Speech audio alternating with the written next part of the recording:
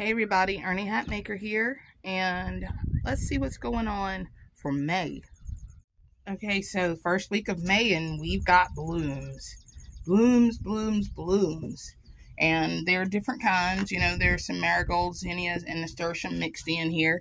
These nasturtium aren't nearly as big as the ones um, that I grew the first year I ever grew nasturtium. But of course, you know, they're only a couple weeks old as far as like when they started popping out. This lemon balm it's going to attract a lot of bees. Look at that. Healthy, healthy lemon balm. And then there's a gigantic pot of nasturtium in the back there. Um, it's called the dwarf cherry. So I can't wait to see those pretty pink blooms. And then, um, of course, you know, basil. Most of this is herb and lettuce up here. The kind of stuff that, you know, quick eating. Just pull a few of them, throw in a salad or whatever, stir fry. These nasturtium. Look at this. Look at my hand. It's pretty big. It's awesome. And then there's more flowering plants and some kale and um, some peppers that I've started. This one is the five color pepper and I mean it's really pretty. This is a, I want to say it's a jalapeno because uh, I have a lot of those planted, so I probably wouldn't be too far off if I said that. Either jalapeno or, or cayenne.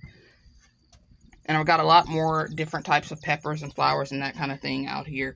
Um, some Ali Baba uh, watermelon plants that are getting ready to go into the ground. So anyway, uh, that's what's up on the table. I have some uh, marigold and they're mixtures of different types of marigold. A lot of Cracker Jack marigold uh, seed I bought this year. Um, some spinach and uh, I forgot what kind of uh, flower this is. I'll know later. There's a jumping spider that's guarding this unless it was eaten by that tree frog, so I won't stay here too long. My friend was clearing out a nursery, and so she gave a bunch of tomato plants so they're kind of thrown in. Also, I wasn't going to plant this many varieties of tomatoes this time, but because, you know, they were free, why not? I still have a few things growing in the totes. Um, herbs and uh, that's a lot of basil that's coming up in there soon. Some peppers and um, other things. And then, of course, you remember the tomatoes. And then my cilantro um, it got a little bit too much nitrogen, so yikes.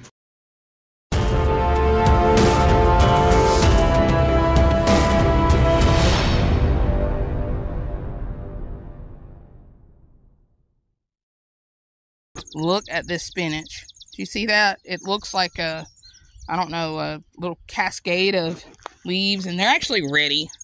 Uh, I probably need to go ahead and start um, pulling some of those. I wanted to um, dehydrate them, but they're such sturdy leaves, uh, and I believe that they'd make a great stir fry. And look at the lettuce that's beside them. It's actually starting to head up. Look at that, that little tight head right there. There's another one that's forming for that lettuce.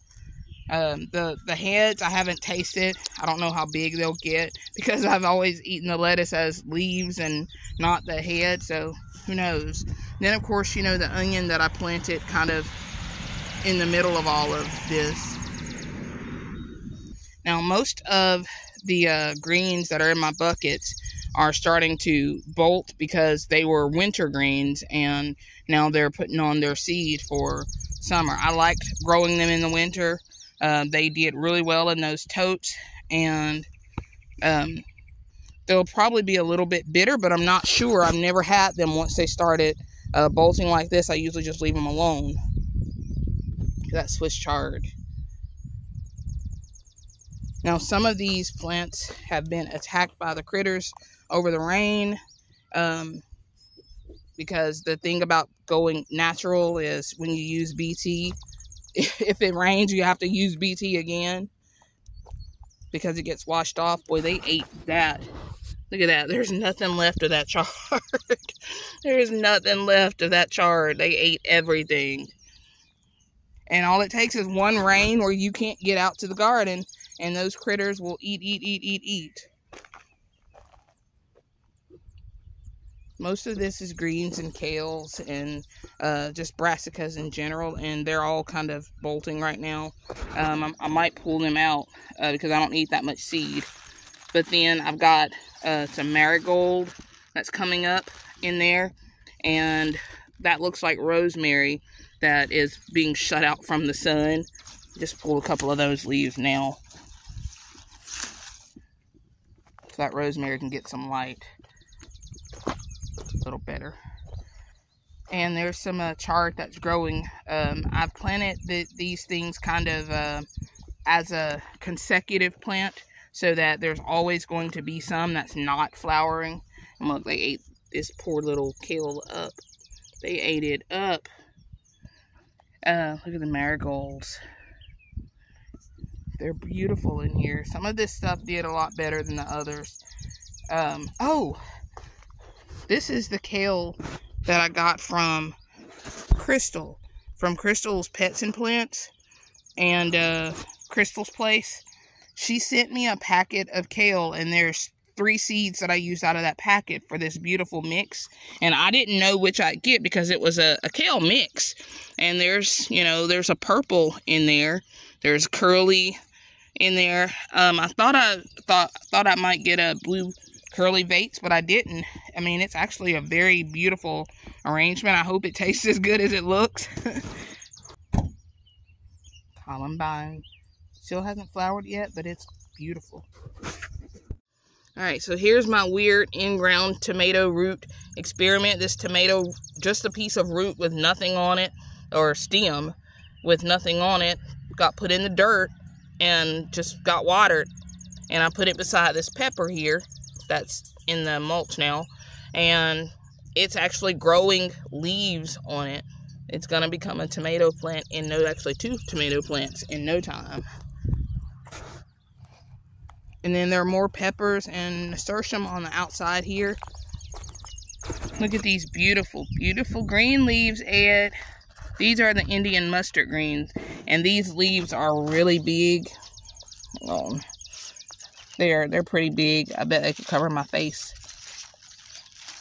They're kind of flopping over a little bit and hiding things like peppers. Mm-hmm. There. Hey, do you want to eat this green leaf? There's no bugs on it. Mmm, it smells good. And it smells like greens. There, one of those leaves was covering up um, my pepper plant, which, you know, is probably really good for uh, keeping the bugs out, but not good for the pepper plant. There.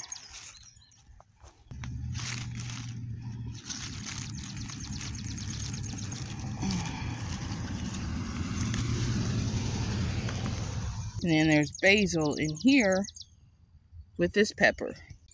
There's another one of those tomatoes from that nursery. This deal kind of shot up overnight. My 50 gallon grow bag with um, peppers and tomatoes and nasturtium is growing very tall with plants. Um, you can see my golden acorn squash in there. Um, there's a little bit of nasturtium, so it hopefully throws the scent off for squash bugs and that kind of thing. We'll see how that works. Uh, lots of different types of tomatoes that are in ground and in buckets. More nasturtium, which I'm definitely going to be collecting a lot of it and drying it for tea because I have no more and I didn't realize I didn't have any more because I thought I had some, you know, how you put jars in, in the cabinet and then you just lose track of what you're using. Sometimes that happens.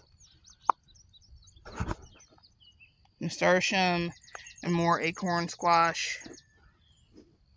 Crazy tomatoes. Tomatoes and chard. The chard's actually going to go soon. It'll be dried. And then the tomatoes will be left alone.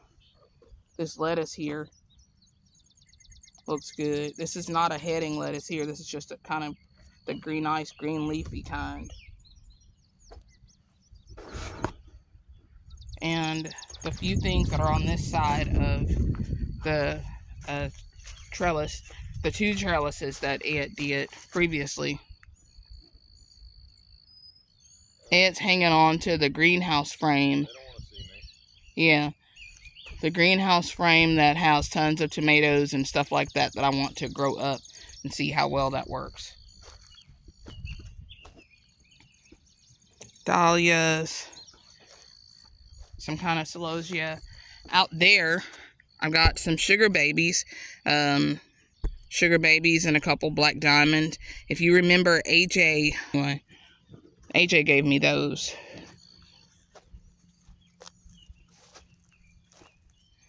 And my pepper and tomato mix. Looks good. Growing up this weird green thing that ended up after you put it in the ground no taller than a regular tomato cage. But it cost like $7 extra. Another one of those free tomato plants. We'll see how well it goes. Um, I have seen no more strawberries in this strawberry and um, pepper bed. Now it's just mainly the peppers are taking some of the fertilizer that have been going to the strawberries in the grow bags. And then I've got um, some brassicas that are in this grow bag over here. Still don't remember what type of lily it is that we planted. But now it is two years old and it is flowering. So I'm really happy about that because honestly, it's been a clump of grass for so long that I was getting kind of worried. Past all the stuff in Peppermint Forest, there's that thyme, uh, well, lemon thyme. Over here on the backside of Peppermint Forest are those Imperator long carrots. This eggplant has now created a flower. That's the back side. My little spinach field here in this box mixed in with a few free tomatoes. Uh, those tomatoes are probably going to find somewhere else. But anyway, yeah, these flowers, I don't remember the name of them. If it wasn't for the stink bug, they'd probably be a little prettier. But uh, at night, they close and then they open again in the morning. These onions were free also along with those tomatoes. So, um, not onions, I guess they're chives.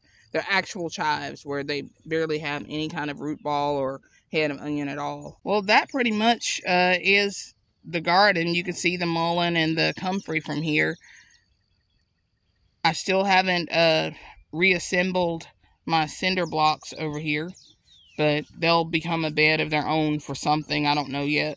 Or we might just stack them up and then let Ed jump off of them. I appreciate you watching. See you next time.